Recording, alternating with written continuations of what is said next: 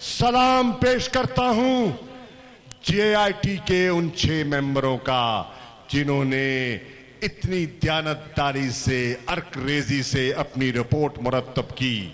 और मैं सलाम पेश करना चाहता हूँ अपनी सुप्रीम कोर्ट का और उन पाकिस्तान के गयूर, अजीम पाँच पाकिस्तानी जजों का जिन्होंने तारीखी फैसला किया।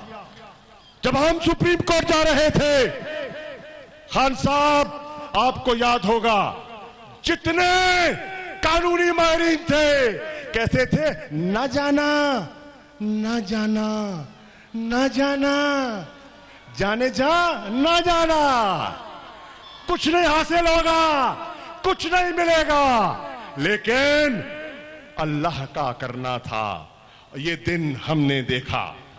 मेरे दोस्तों, अब मैं मीडिया को कहता हूँ, मेरी आँखों पे कैमरा डालो और देखो, मेरी आँखों में झाँक के देखो, मेरी आँख क्या कहती है? मेरी आँखों में आँख डालो और मेरी आँख दूर दूर तक नवाज़ को जाता देख रही है। दूर दूर दूर तक। मेरी आँख से आँख तो मिलाओ। नजरे से नजरे तो मिलाओ। और मेरी आँख देखती है दूर दूर तक। आए चन्ना मामू दूर वो देखो वो देखो वो देखो। दूर दूर तक। नवाज़ को जाता देखती है और मेरी आँख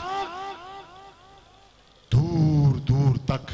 इमरान को आता देख रही है तो फिर वो जाता है, इमरान आता है तो कहूँ कि ना कहूँ, आई आई आई आई आई आई आई आई।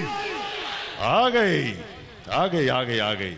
अब सवाल ये है, सवाल ये है मेरे दोस्तों, जब मैं यहाँ आ रहा था तो मैं एक प्रेस कॉन्फ्रेंस सुन रहा था। नाम बता दूँ किसकी? एक छोटे खाजे की। एक है बड़ा खाजा एक है छोटा खाजा ख्वाजा साद रफीक की। वो कह रहा था तहरीके इंसाफ वालों, मिठाइयाँ ना खाओ। तुम्हें हजम नहीं होंगी। हमें इल्म है कि आपका हाजमा बड़ा है, माशाल्लाह। अब अरबों डॉलर हजम कर सकते हैं। हमारा वो हाजमा नहीं है, खुदा करे ना हो। लेकिन वो कह रहा था क्या जश्न मनाने जा रहे हो? क्या तुम भूल गए? कि इमरान खान का भी और जहांगीर तरीन का भी केस सुप्रीम कोर्ट में लगा है। तो मैं आज बबागे दोहल।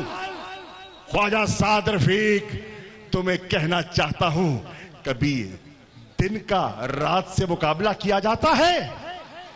कभी अंधेरे, उजाले का मवाजना किया जाता है? क्या बात करते हो? तुम जब एहतसाब से छुप रहे थे तो इमरान कह रहा था, जिस कसौटी पर तुम नवाज़ शरीफ को परखना चाहते हो, मैं उसी कसौटी पर एहतसाब के लिए अपने आप को पेश करने के लिए तैयार हूँ।